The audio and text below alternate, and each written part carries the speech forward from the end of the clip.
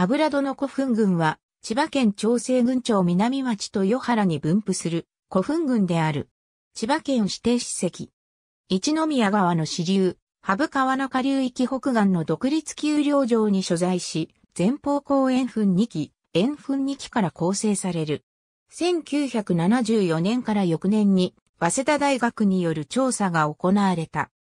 1号墳は、全長92メートル、後円部径55メートル、高さ9メートル、前方部幅26メートル、高さ3メートルを測る前方後円墳で、墳長から底部線香の弾き壺が出土している。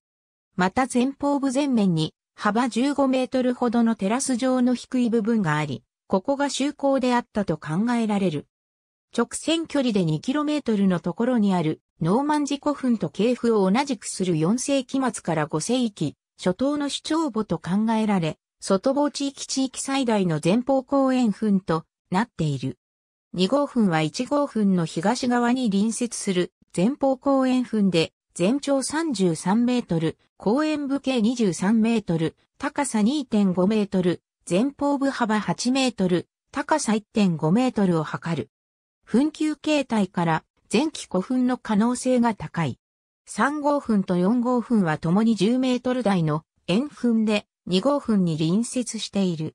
ノーマンジ古墳同様に高塚古墳がほとんど見られないこの地域においては前期の大型前方後円墳を含む重要な古墳群である。ありがとうございます。